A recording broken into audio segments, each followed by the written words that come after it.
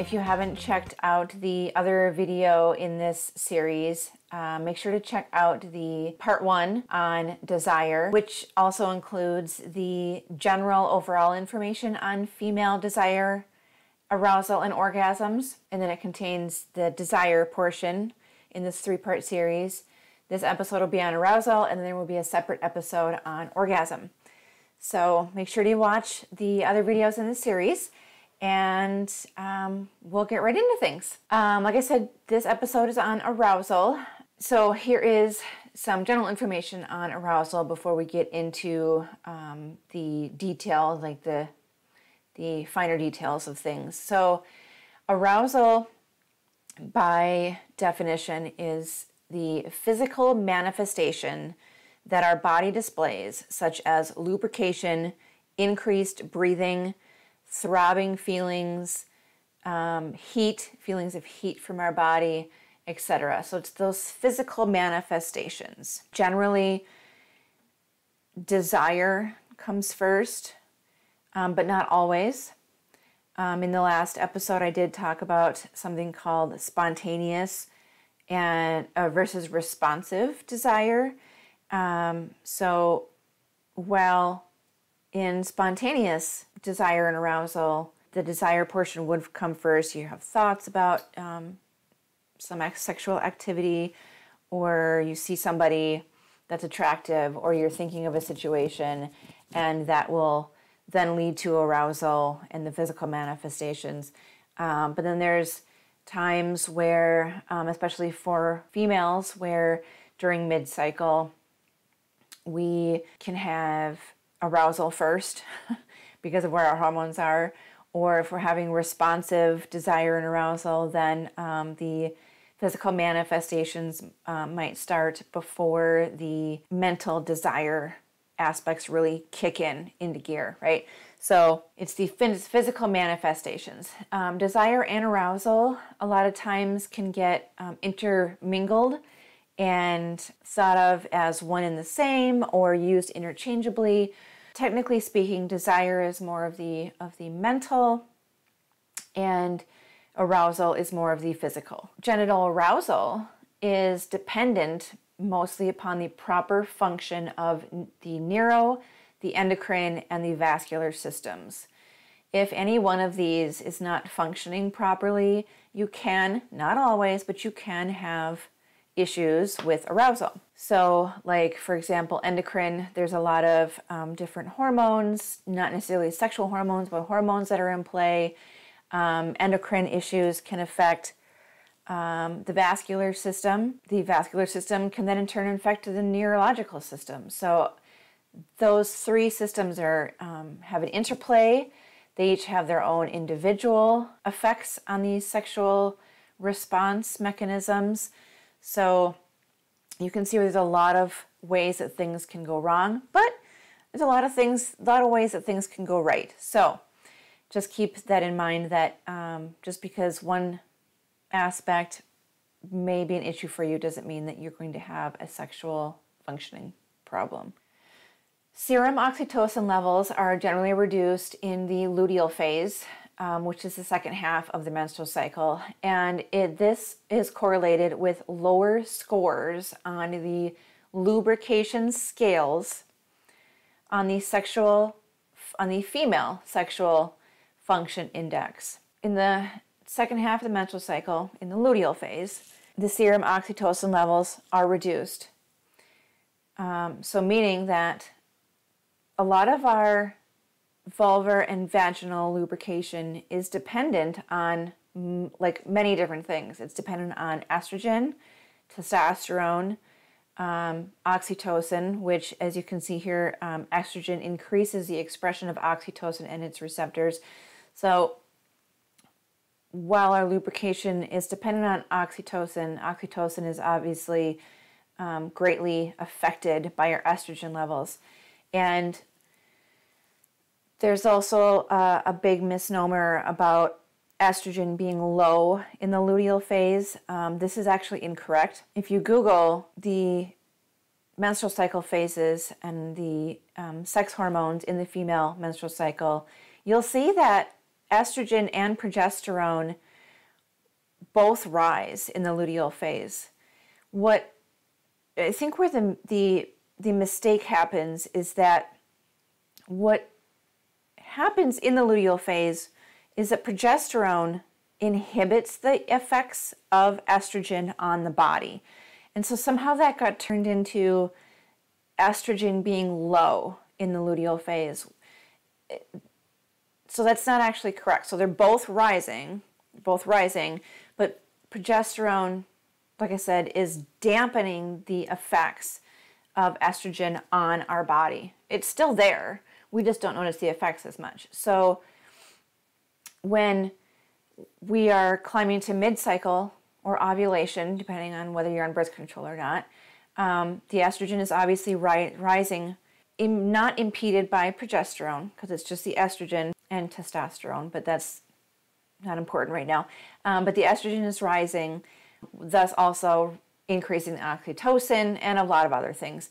Um, but for this point specifically, it's increasing oxytocin, which is having a huge effect on our lubrication. Estrogen also influences our vascular function. You will hear of women who are in menopause who may uh, get put on estrogen for um, cardiac health reasons. Um, our estrogen plays a big role in our vascular health. Um, in males, testosterone plays a big role in their vascular health. So, estrogen also has a direct effect on our genital anatomy apart from how things are formed in the womb. Um, it it has an effect on the vaginal structures from puberty all the way until the estrogen stops at menopause, um, and then the lack of estrogen then affects vaginal anatomy. But um, for this episode's purpose, the estrogen is having an effect on the vaginal epithelium, the plumpness of the vagina. It enhances peripheral blood flow and it improves vaginal lubrication. A little side note about this is without estrogen, the vagina becomes drier, but it also experiences um, a lot of atrophy. And that is kind of when the tissues themselves not only dry out, but there's not as much blood flow, there's not as much elasticity, um, there's not as much healing. The layers of the dermis in the vagina become much thinner Estrogen has a lot of effects on vaginal lubrication via nitric oxide. Nitric oxide is responsible for the smooth muscle relaxation and is also a potent vasodilator of clitoral tissue. And so, just like a male's penile erection, the blood vessels and the tissues and the smooth muscles need to dilate and relax and need to relax in order for blood to flow to those areas more intensely without the estrogen, um, whether you are on birth control, which affects your estrogen significantly, or whether you're menopausal, or whether you're having another health issue that is affecting your estrogen production. Um, without the estrogen, your nitric oxide levels aren't going to be as responsive or responding properly. And so, um, blood flow and muscle relaxation just isn't going to happen as it would as if you had proper estrogen. And this is a big thing um, for transgendered uh, people who may might be doing things to suppress their estrogen. Um, if you're noticing any issues with um, vaginal function, um, make sure to talk to your doctor about the effects that you might be experiencing by suppressing your estrogen. Something, a little bit of um, scientific jargon here that we have that I wanted to put in is the, later, the lateral orbital frontal cortex becomes less active during sex. Okay, this is the part of the brain that is responsible for reason, decision making, and value judgments. The deactivation of this part of the brain is also associated with decreases in fear and anxiety. And as you can see here, that is from clinical psychologist Daniel Schur. I'm not sure quite how to say that, but I'm guessing it's Schur. You've probably noticed when you go to have sex that um, when you're horny and you're fully aroused, you're probably not making the best judgment calls. Um, condom who needs a condom, right? I mean, you you know definitely should be wearing a condom, but when you're in the heat of the moment, a lot of times those judgment calls don't get made. And when you are no longer horny and aroused, you start thinking back of what you just did, and maybe it wasn't the greatest idea. Um, some of them are great ideas, and some of them aren't. But this is what ha- what is happening. So the lateral orbital frontal cortex becomes less active and so you're you just aren't having uh, the greatest judgment when you're horny and aroused. Uh, that was a cool little bit to put in there.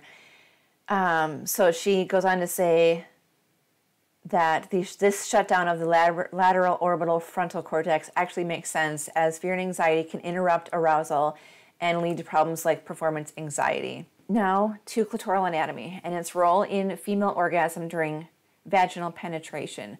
Um, I'm going to be kind of freestyling a lot of this as we are kind of learning um, some things about the clitoral anatomy the last few years. And so, while there is a lot about it, um, it hasn't been studied a whole lot. We are like I said, learning a lot of new things about the clitoral anatomy and its function during orgasm and during sex lately. And frankly, there just hasn't been a whole lot of studies done on how it functions. I mean, there's been some, but not ex- as extensively as other things that have been studied. So, um, first, I'm going to pull up some of the clitoral anatomy that I have here, some visual aids.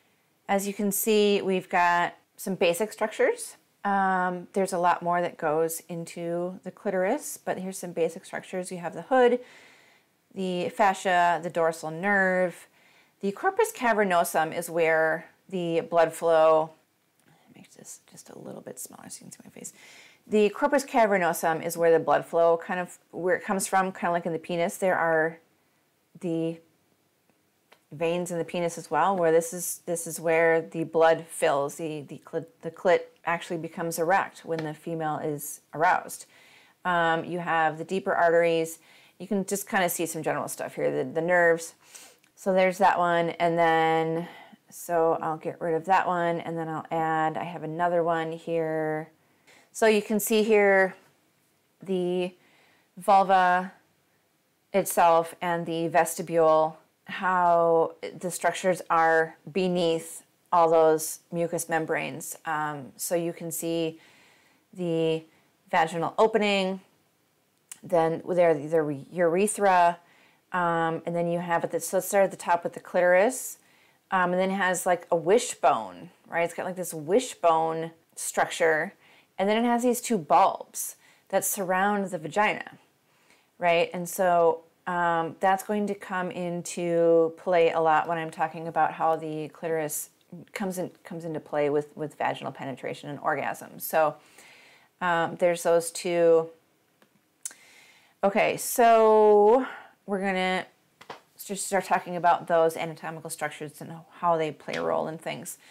Um, the clitoris has erectile tissue, and you saw that in the clit dissection. Let me pull that back up here and just make this guy a little bit smaller. You can see the erectile tissue. And this is why the clitoris becomes engorged and swollen and harder when aroused. Um, it's filling with blood, plain and simple. It's very similar to a penis, um, but not exactly. Um, it's just similar. Um, a little fun fact we also have erectile tissue in our nasal passages, and a lot of times people may notice that they um, will get a runny nose or the sniffles when they're aroused. We have erectile tissues in our sinuses and, our, and in our nose here, and so when you're aroused, those are also engorging with blood. So not only is it putting pressure on your sinuses, but all of that pressure on the blood vessels and on the structures in there, in the tissues, is causing sort of like a serum or a transudate to kind of leak out of those tiny blood vessels and capillaries, and so you get a runny, congested nose. And that's um, uh, that was kind of an interesting fact. So to finish out the clitoral aspect um, of this little bit is obviously any kind of stimulation, even if it doesn't result in an orgasm, any of that clitoral stimulation is going to just further arouse, it's going to stimulate all of that lubrication that is needed for penetration. Um, it's going to create the muscle tension to create the orgasm. So, while there's obviously other aspects that can arouse the female, the clitoris is a huge portion of where the physical manifestations of our arousal comes from. Moving on from that, nipple stimulation. So there's a massive amount, upwards of about 80% of the female population that need nipple stimulation to achieve orgasm. And I know that this is the episode on arousal, but that was just a little um, bullet point there. So we'll cover real quickly some of the arousal disorders before we get into um, what is happening during arousal. So we have something called persistent genital arousal disorder, which is characterized by persistent or recurrent unwanted or intrusive distressing feelings of genital arousal or being on the verge of orgasm, not associated with concomitant sexual interest or thoughts of fantasies. Um, I'm pretty sure I said that word wrong. I don't use it very often. Um, it's late at night here. So uh, honestly, I don't even care. Um, Google it. Sorry. Um, but it's basically that you are constantly feeling aroused, like really aroused and on the verge of um, orgasm and you not wanting to. Like these are these are people who are constantly trying to just get through their day and they're on the verge of orgasm the whole time sometimes that might feel like it would be kind of cool, but wait till you have it. People are like, no, can I just work? Um, it is hypothesized that the um, PGAD results from hyperactivity of the sacral nerve roots. Um, this is something that is still being studied. It's kind of new-ish. The, the, theory that a lot of people, that a lot of those in the scientific and medical community are going with is a sacral nerve root issue. Um, there are some other theories, but I didn't want to get too far into them. Those are things, if you feel that, that this is something that might be happening for you, I strongly suggest seeking out a sexual health, sexual health specialist. So, female sexual arousal disorder is the an inability to develop or maintain an adequate genital response, including vulvovaginal lubrication, engorgement of the genitalia, and sensitivity of the genitals associated with sexual activity for a minimum of six months. If you're feeling the inability to have any of these things, um, despite trying to have them for six months or more, um, a diagnosis of female sexual arousal disorder can be made. It can be vascular injury or dysfunction. It can be caused by neurological injury or dysfunction. So there's obviously a couple of things that can be happening here, but generally the disorders that are listed on the outline here um, come with a minimum of six months, and you'll see that. Um, and again, if you have any of the things listed here or any other issues that I might not even cover, make sure to, to either contact me to get help finding a proper sexual health specialist or Google one for in your area. Um, the female cognitive arousal disorder is a difficulty or inability to attain or maintain adequate mental excitement associated with sexual activity as manifested by problems with feeling turned on, engaged, or and or mentally sexually aroused. And this issue lasts for about six months. Again, the female genital arousal disorder is psychological, cardiovascular, cardiovascular, neurological, and other such as anatomical changes that may occur after pelvic radiation and or surgery. symptoms are similar to genital urinary syndrome and vulvovaginal atrophy. So if you don't have things that are causing you genital urinary syndromes or vaginal atrophy, then a diagnostic of the other of the um, what did I call it? Then a diagnosis of female genital arousal disorder may be able to um, be used. Even after adequate stimulation, women are distressed or bothered by a lack of swelling of the labia and or clitoral tumescence vaginal lubrication, and or increased sensitivity in the genital tissues. So you can see where this one is actually pretty common. Um, I would say that there is there's probably a lot of women that experience this um, at some time in their life. It might not go on for six months at a time. It might come come and go throughout your life. But I deal with women who experience this a lot. Um, it's pretty common. FGAD with reduced sensory information is I cannot feel my vagina, I cannot feel my clitoris, and I cannot feel my labia when they be, are being touched. So that's the sensory aspect, right? So some women may have a hypofunctioning sacral spinal nerve root. Here's another one of those words that it's too late at night for. Um, radiculopathy within the cauda equina from various sacral and lumbar pathologies.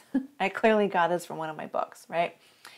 Another thing that can affect arousal ability is obesity and metabolic syndromes and cardiovascular issues. Um, they have an effect on sexual desire and arousal, having a negative impact associated with increased vascular resistance in the clitoris and impaired arousal. Um, if you remember back to the clitoral anatomy that we talked about, we have the the, the two tubes, the two blood vessels that we're all, you know, that blood flow and congestion is coming from. Well, if you've got an obesity or, or metabolic uh, syndrome or cardiovascular issue, you're not going to get the level of arousal that you could be getting. I've had a lot of women ask how they know if they're aroused. We all obviously have an idea of, um, you know, how we feel when we're aroused. Um, but, you know, there's a lot of things that we don't know generally um, because it can't really be talked about in K 12 sex education. Um, and so there's things that women are like, like, I know when I'm horny, but how do I know when I'm properly aroused? How do I know when I'm ready for penetration or, you know, ready to go further, right? And so we're kind of going to get into a lot of what female arousal looks like and feels like and is all about.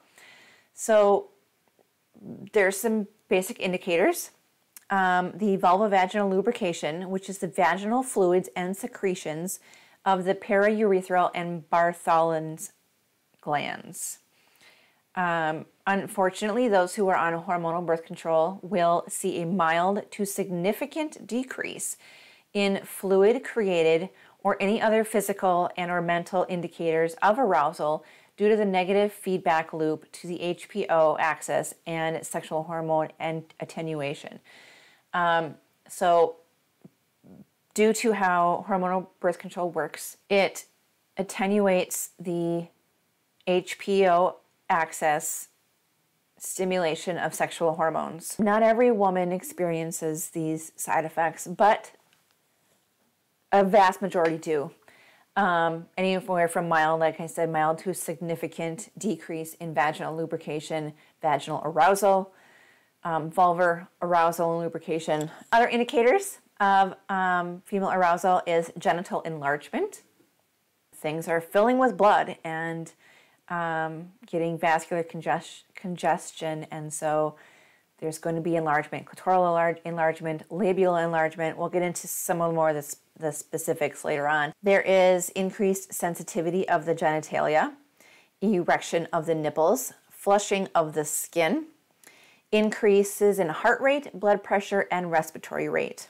The other aspect of how do I know when I'm aroused kind of ties into how do I know when I'm ready for penetration? Well, that's kind of subjective.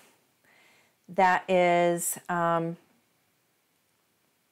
it's when you're mentally ready honestly, um, because not everybody has a 100% fully functioning sexual response. And so one person might be extremely turned on and aroused and want to have that that physical vaginal penetration, but their vagina and their vulva isn't cooperating as well as they would like it to and creating as much lubrication as they would like it to. And that's where you just bring in some lube or some coconut oil, right? Um, and so being ready for penetration is subjective. Just because you might have a highly lubricated vagina and vulva also doesn't mean you're ready for, for ready for penetration. You might not be mentally ready. So, um, ready for penetration is subjective, and I would say it's more mental because if you are not mentally ready for that, um, that can cause its own host of problems later on. Subjective arousal is how subjective arousal can cause someone to feel very aroused mentally, like I was just saying, but the genitals are not responsive, responsive as the person believes them to be, and vice versa. The genitals can be fully aroused, but the brain is not being responsive. What is the vaginal fluid made of? Vaginal lubrication is derived from several sources, including vaginal transudate and fluids from the upper rep- reproductive tract, such as the cervical mucus and endometrial and tubal fluids. The chemical composition, however, of vaginal fluids is represented by a mix of ions. I, um, I think that sodium, potassium, chloride, calcium, glycerol, lactic acid, acetic acid, and glycogen. I think I got my periodic table of elements right there. I'm pretty sure. I did this outline a few weeks ago, and honestly, I can't remember. I forgot to, I forgot that was in there as the symbols and not written out, so I think I got those right. Um, but vaginal vas- vasocongestion enhances the production of lubricating fluids. And I mentioned a lot of the vasocongestion in the desire episode and the, uh, well, the part one where it was a general overview and desire episode. Um, but basically, it's all that blood flow is like congesting that area, all the tissues, all the, all the blood vessels, right? That's what the vaginal con- vasocongestion is. And then it's enhancing the production of lubricating fluid. This fluid primarily consists of plasma transudate that comes from capillary dilation. Plasma transudate and the transudate that passes through the vaginal epithelium on the vaginal mucosa. So, as all of the blood vessels and tissues that make up the vagina are filling with blood via vasocongestion, um, all that plasma is leaking out of the capillaries. And that leaking, um, let's see if I can pull up the vaginal lubrication. Lubricating, where it says lubricating droplets. Okay, so you see the vagina, um, network of blood vessels, where it says network of blood vessels, where that's where all the vasocongestion is coming from. And then the plasma leaks out of those blood vessels into the vagina. And that's where the lubrication comes from. Moving on. Vibrators. Vibrators.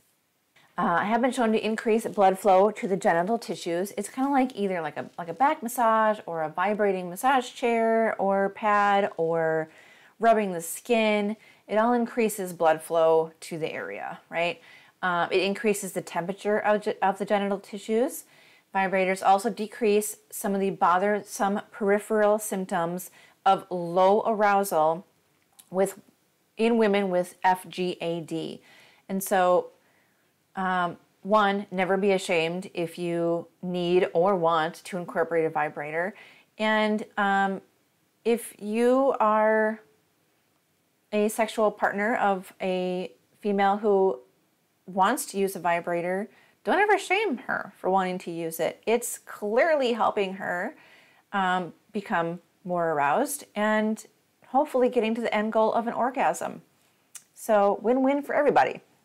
It isn't a testament to your penile size or your lovemaking abilities. It is, you know, for all you know, she's having um, an arousal disorder and doesn't want to talk about it with you, but the vibrator makes her function properly and has something to do with you. So there's that. Um, there should never be any, any shame for wanting to use a vibrator. It's a great tool to have a normal sex life. Now we're going to move on to some more um, greater detail of the female extragenital response. So in the breasts and nipples, in we're going to go through different phases um, for the most part. I think there might be a couple of spots where I don't go through each phase, but for the most part, we're going to go through the phases. So the breasts and the nipples during the excitement phase. The nipple erection is the first evidence of the breast response to sex tension increment as a result of involuntary contraction of muscular fibers within the nipple structure. Large nipples usually have relatively less capacity for size increase, for, for size increase, and small nipples have little capacity to respond to sexual stimulation with a measurable increase in size. Nipples frequently do not achieve a state of full erection simultaneously um, but when a female is aroused, the nipples become erect and a lot of times get a little bit darker, to be honest, because of the, um, the blood flow and the heat. It might be shown later um, somewhere else, not in the, doesn't look like it's in the breast section, but there is a sex, sex flush that happens. So there's heat that, um, because of all the blood flow that's happening. Usually the nipple of the smaller breast will be the first to become fully erect. Breast size, a lot of times, also increases due to engorgement from vasocongestion, except in those who have breastfed. Um, the data that we have on the studies that we've done is just that the people, women who have breastfed, just the engorgement just isn't there. Uh, upon late excitement phase, engorgement nipple tension can be so great as to impinge on nipple erection, creating the illusion that the responding woman has lost nipple erection. So, engorgement of the breast tissue is putting pressure on things um, and just causing different flows that um, nipple tension or nipple erection is, is itself um, lost. And so it isn't just like this, these pointy, it is no longer these pointy, like you know, pencil erasers, it kind of flattens out a little bit because of um, breast engorgement. Um, during the plateau phase, nipple erection can fluctuate based on the nipple tension. During orgasm phase, the nipple erection also can fluctuate based on nipple tension. During the um, resolution phase, the nipples return to the resting non erect state as well as the breast engorgement. The sex flush can um, happen. It happens throughout all the phases, but it gets um, it increases throughout the phases, and then obviously resolves during the resolution phase. But it can be a measles-like as orgasm nears. It, it, be, it can be that significant, and it spreads from the chest outward as arousal peaks to orgasm. Myotonia, which is essentially muscle tension, um, during the late excitement phase and plateau phase. Myotonia is clinically obvious during the late excitement and plateau phase and is usually the muscle contracting with regularity or in spasm in an involuntary manner. You might notice when a female or male is highly aroused that their hands or feet start um, flexing or their um, glutes will start contracting um, it's usually involuntary because there's so much muscle tension happening and leading up to the orgasm phase. Um, the plateau phase of the muscle tension is more muscles are involved and more contraction can be seen, such as fingers and toes curling, hip thrusting, glutes engaging, neck rigidity, and a pain grimace. Um, during the orgasm phase, the muscle tension threshold um, peak has been reached. We'll talk a little bit more about how the orgasm happens with that muscle tension in the orgasm episode. And then in a resolution phase, the muscles immediately relax. Um, the urethra in the arousal phase, or in the during the during arousal, is the posterior wall of the bladder and the urethra is irritated after repeated penile thrusting. So that's the part that is obviously closest to the vagina. Those who have complained of postcoital dysuria, basically postcoital painful urethra or urination, had a high perineum constriction of the vaginal outlet. Um, these structures combine to hold and direct the penis along the anterior wall during mounting and active coition. Sex. Given the slang term honeymoon or bride's cystitis, these symptoms can last as long as two to three days after an episode of extended penis in vagina or basically vaginal intercourse or penetration or a session that irritates the urethra externally or internally. So basically, it's just if you're having an extended period of, of vaginal penetration or um, vulvar stimulation, the urethra can be irritated. Or if you're having a lot of sex that maybe just might be shorter on the shorter end of time, um, but you're having a lot of it, it's just, it's causing it's just causing a lot of friction to the urethra, and it's just giving it irritation.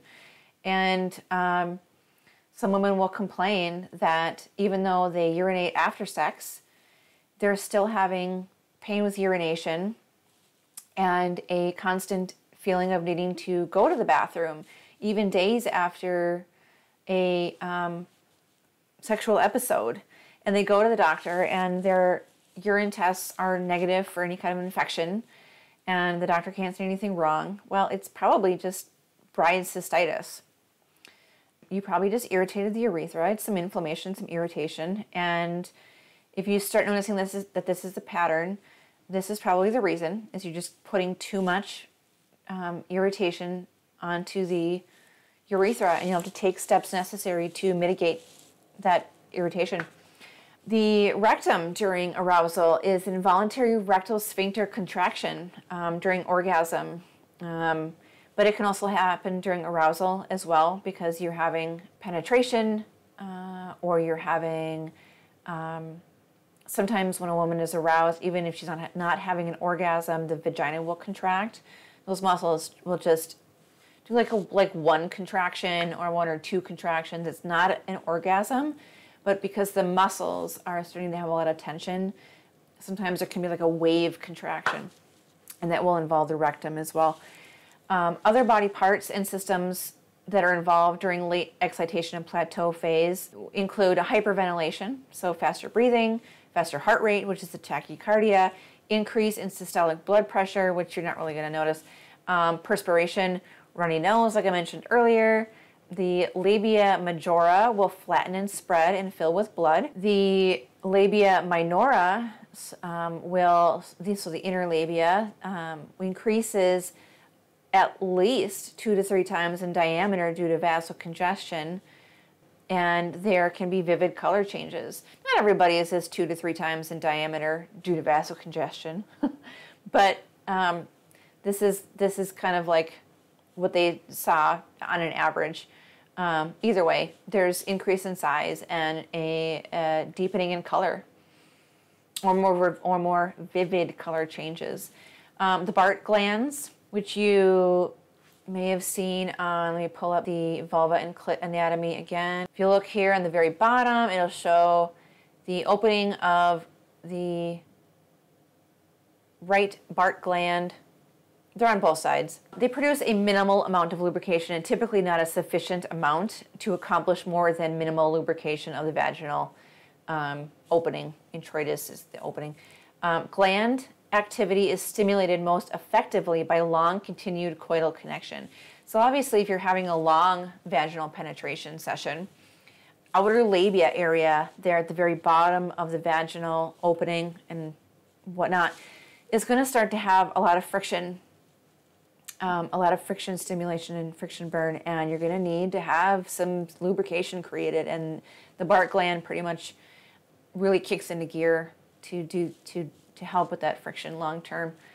What anatomic changes occur in the clitoris during periods of sexual stimulation? Um, during the excitement phase, whether visually noticeable or not, engorgement happens via the tumescence. Um, a lengthening and widening of the clitoral shaft happens, increased blood flow to the clitoral cavernosa and labial arteries, resulting in increased clitoral intracavernosal pressure, protrusion of the glans clitoris. So basically, it gets a little erection. It gets harder, it gets bigger, it gets longer, wider. Um, during the plateau phase, the clitoral body, so the shaft and the glans, retracts. So um, from the normal pudendal overhang position, so the clitoris kind of sucks back a little bit under the hood. The clitoral body retraction reaction fre- frequently causes a partner to lose. I put usually a male on there because uh, only because a female many times will already know that. It, so if a female partner will already know that continuing stimulation will still feel good to the one receiving it. So a female partner isn't necessarily going to know that the clitoris is retracting a little bit, but she's going to know to keep going with the stimulation. A male partner who doesn't have a clit isn't necessarily going to know that the clitoris retracts the more aroused the woman gets. And so a lot of times men lose the clitoris and then they spend time trying to find it. Having lost contact with the clitoris, the male partner usually ceases active stimulation of the general mons area and attempts manually to relocate the clitoral bo- the body. By the time the clitoral shaft has been relocated, the plateau phase or the super arousal phase tension levels may have been lost and the female may not recover from the interruption in stimulation. So she may have lost, she may, might be like, it still kind of feels good, but it's not where it was before you lost it. Well, so if you, despite whether you're male or female, feel like you have lost the clitoris during stimulation and the and the receiver is in high arousal, just keep going with what you're doing. Don't try to find it. it's still there. Um, it is important to emphasize that the retracted clitoral body continues to be stimulated by the traction or pressure on the protective clitoral hood. Once plateau phase clitoral retraction has been established, manual uh, manipulation of the general mons area is all that is necessary for effective clitoral body stimulation. So don't go looking for it. You might be like, it was erect and now it's gone. Did I lose it? Is she no longer having a good time? Did it did it like go soft and it's no longer hard and aroused? No, it's still there. It's still hard. It's still aroused. It just retracts. The ligaments like pulled it back under the hood even further. So just keep doing exactly what you were doing unless told to do something else. But if you have not been told to do something else, keep doing exactly what you've been doing and you'll get the person where they need to go. What anatomic changes occur in the vagina during different phases of sexual response? Um, during the excitement phase, within 10 to 30 seconds of the initiation of any form of effective stimulation, sexual stimulation, lubrication material appears on the walls of the vagina, similar to when sweat appears on the skin. And I showed you that a minute ago, the vaginal lubrication image, that's going to get really big again here you'll see the lubricating droplets, right? So that's that can happen 10 to 30 seconds after the initiation of any form of effective sexual stimulation. um, basic vaginal lubrication develops in a transudate like reaction through the vaginal walls. The vaginal barrel expands and lengthens. Vaginal walls change to a darker purplish hue of vasocongestion. So, obviously, it's going to change a little bit darker of color, and the vaginal lubrication reaches full potential during the excitement phase. During the plateau phase, um, there is marked localized vasocongestion in the lower third of the vaginal barrel, creating a up to a 50% constriction of the central lumen. Um, and I'm going to pull that up really quick.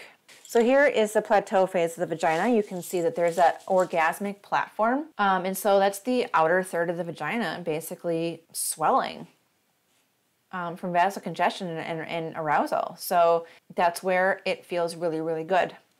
um, up towards the cervix and, and the, um, the uterus, it, it isn't as in, um, full of nerves, and so it doesn't feel as good as down by that lower third.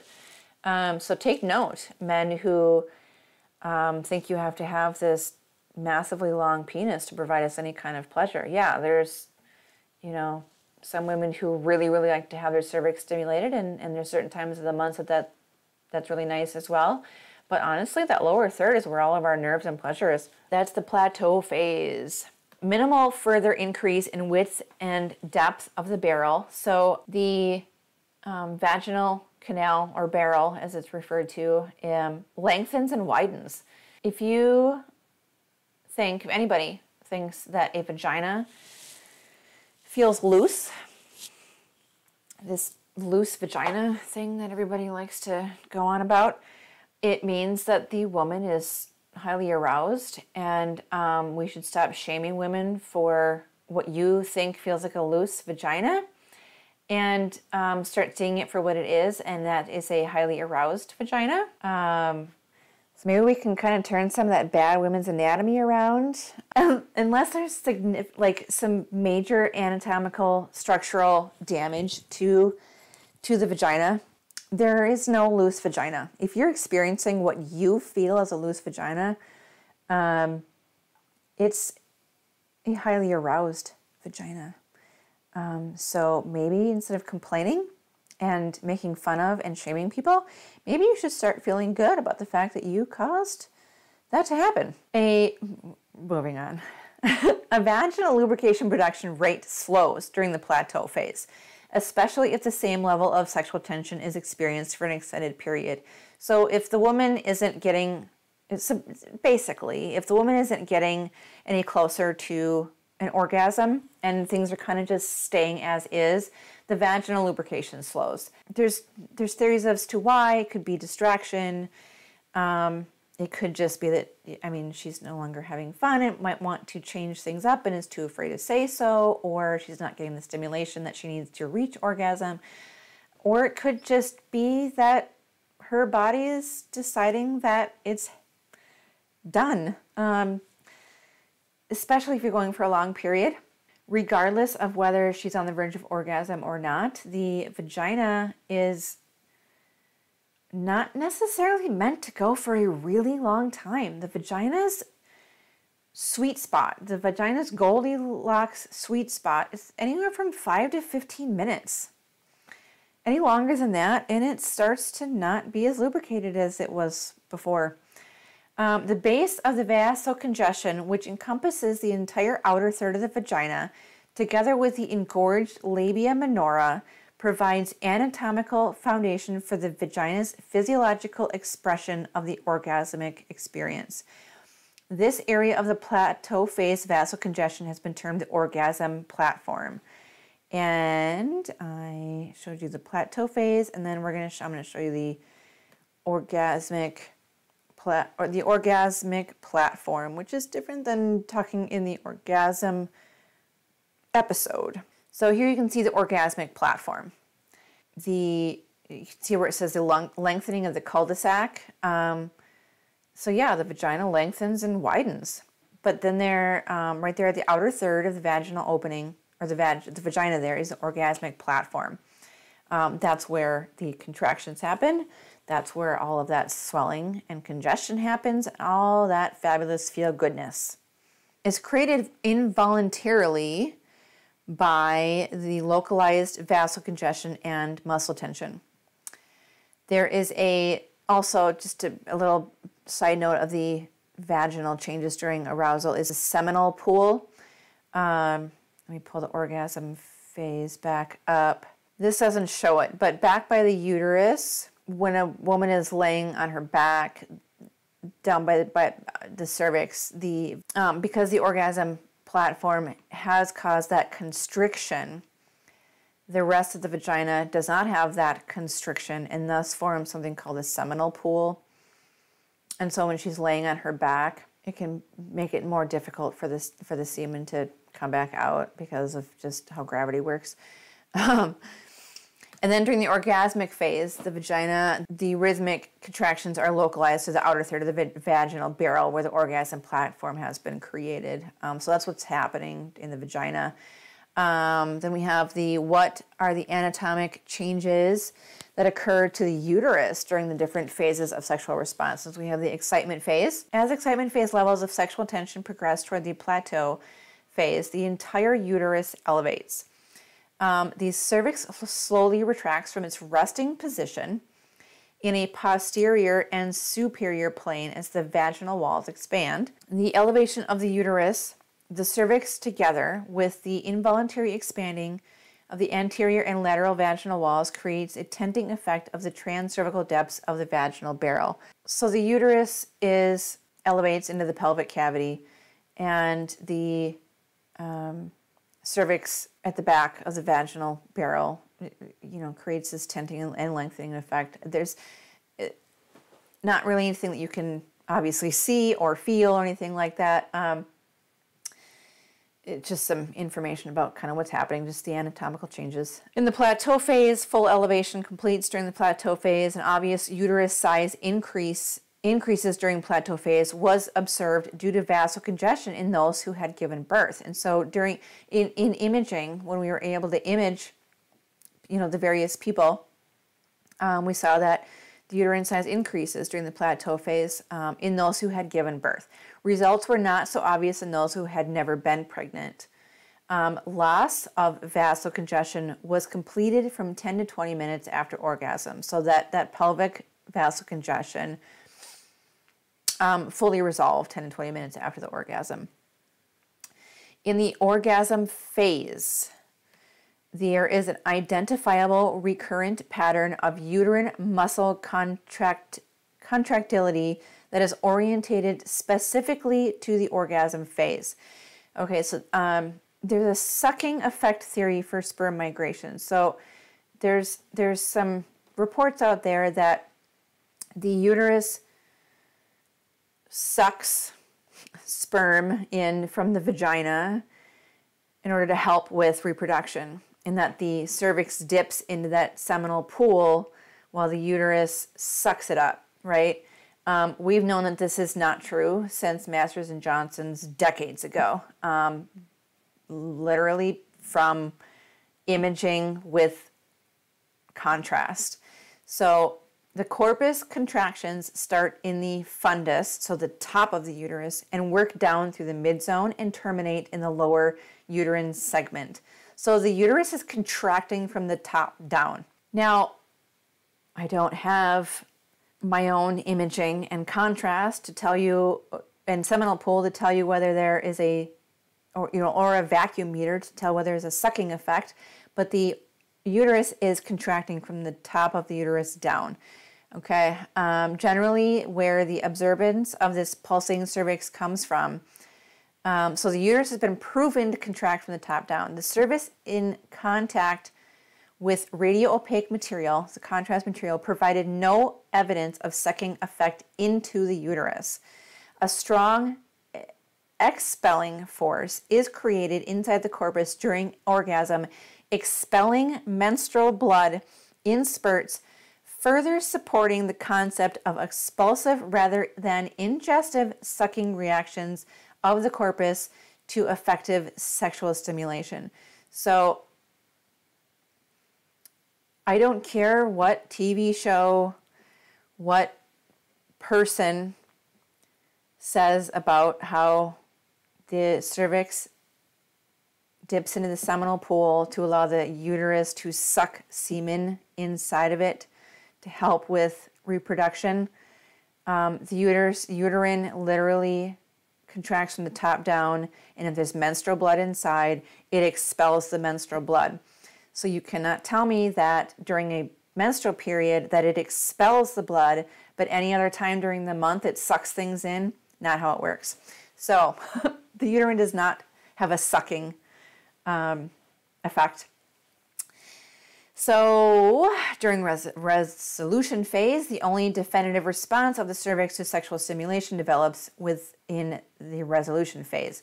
What happens is minimal dilation of the external cervical uh, os has been observed.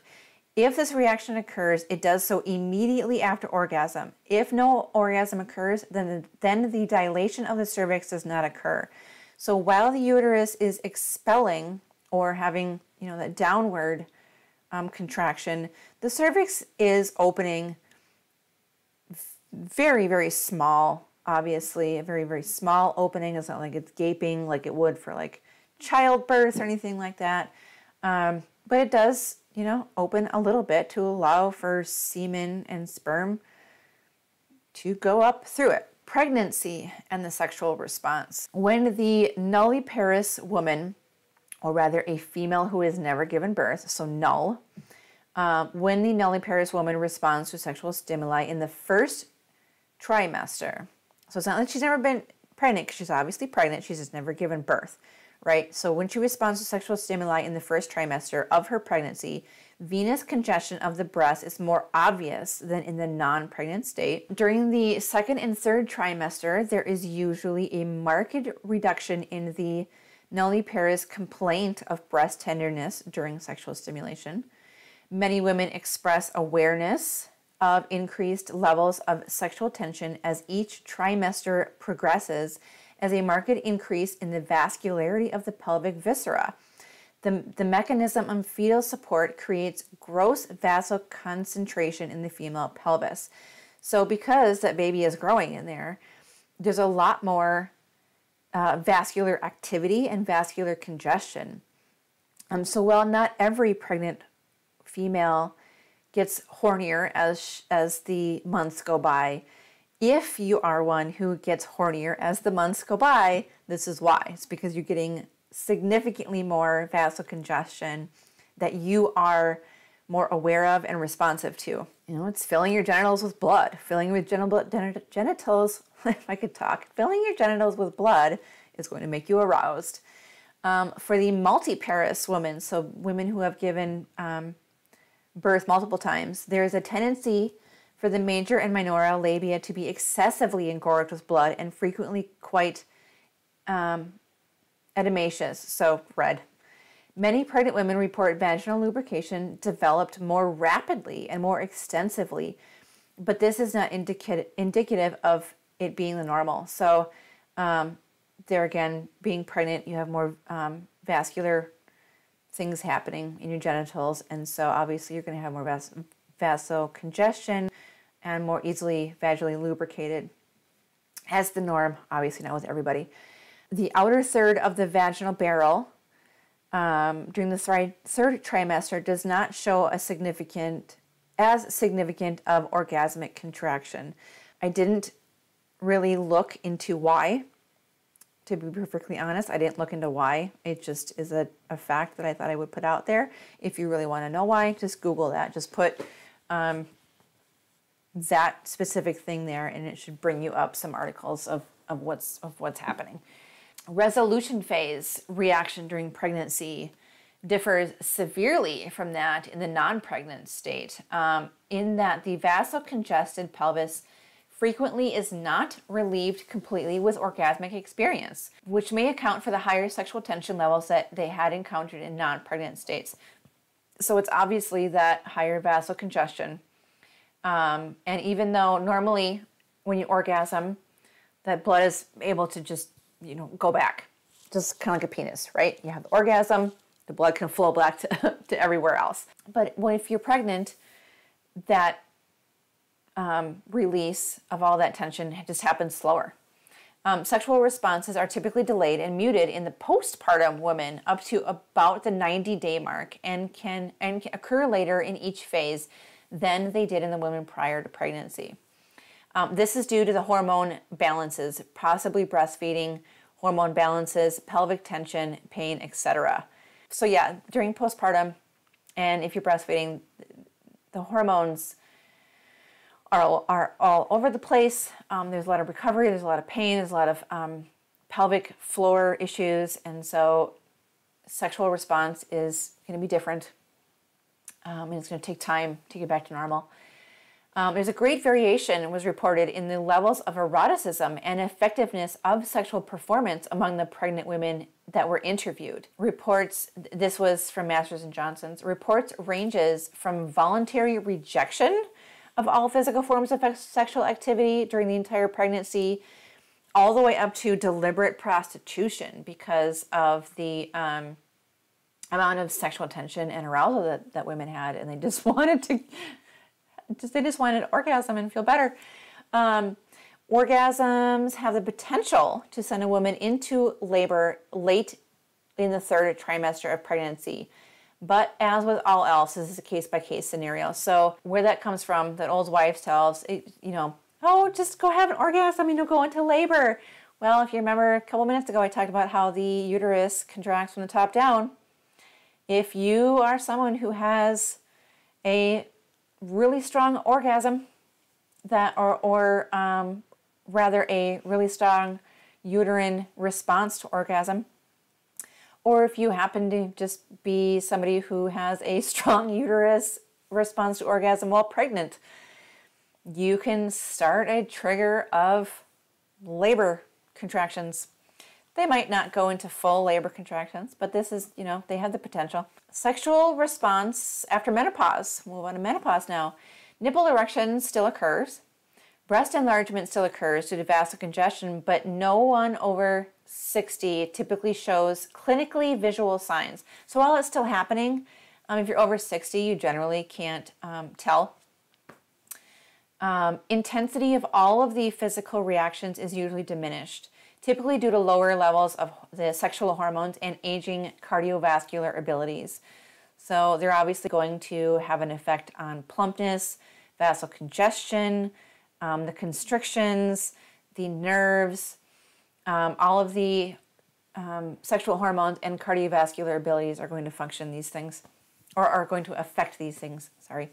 Resolution phase typically occurs a little quicker than in those still in reproductive age as the cardiovascular system has declined and so thus has the vasocongestion abilities.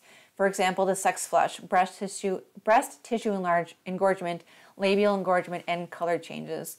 Um, you're just not getting as much vasocongestion. And what you do have returns back to normal more quickly.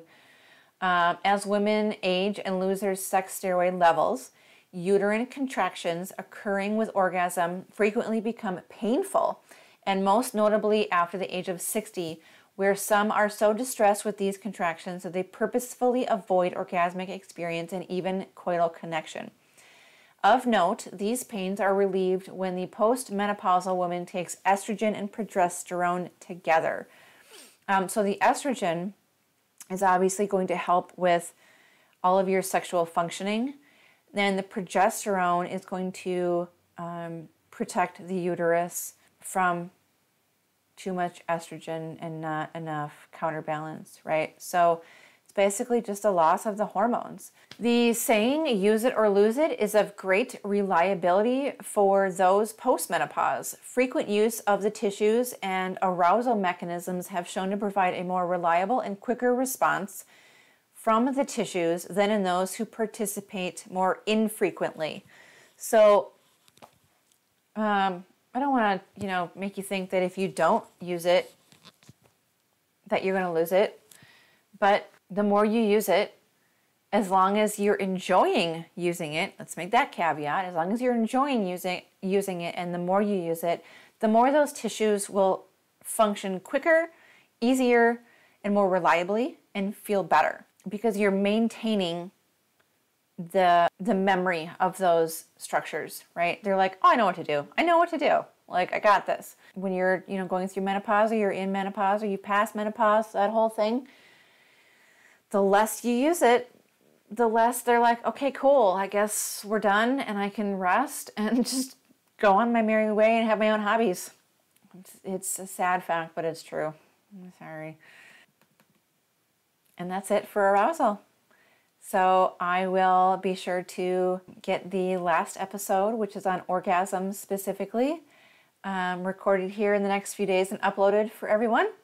So be sure to check back or um, make sure to, that you go watch that episode as well so you can kind of, so that you make sure that you are getting the full educational experience. Yeah, and subscribe so that you can make sure that you are alerted to when I upload um, videos on other topics. Thanks for watching.